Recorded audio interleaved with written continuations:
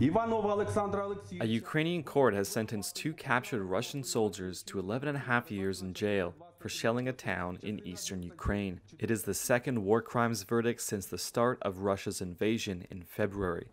Alexander Bobykin and Alexander Ivanov, who both pleaded guilty last week, listened to the verdict at the Kotelevska District Court in central Ukraine.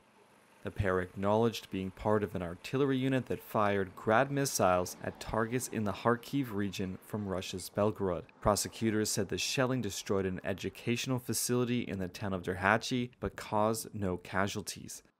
Bobykin and Ivanov, described as an artillery driver and a gunner, were captured after crossing the border and continuing the shelling. Prosecutors had asked for 12 years, but the defense asked for leniency, saying the soldiers had been following orders and repented.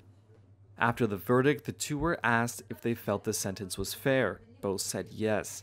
On May 23rd, a Ukrainian court sentenced a Russian soldier to life in prison for killing an unarmed civilian. Kiev has accused Russia of atrocities and brutality against civilians during the invasion and says it has identified more than 10,000 possible war crimes.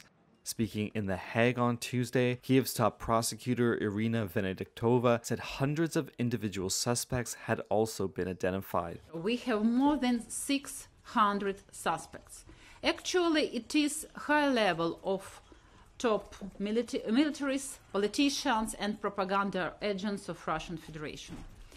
Uh, when we speak about war crimes in Ukraine, you know we have near 80 suspects, people whom we identify as war criminals and started to prosecute them.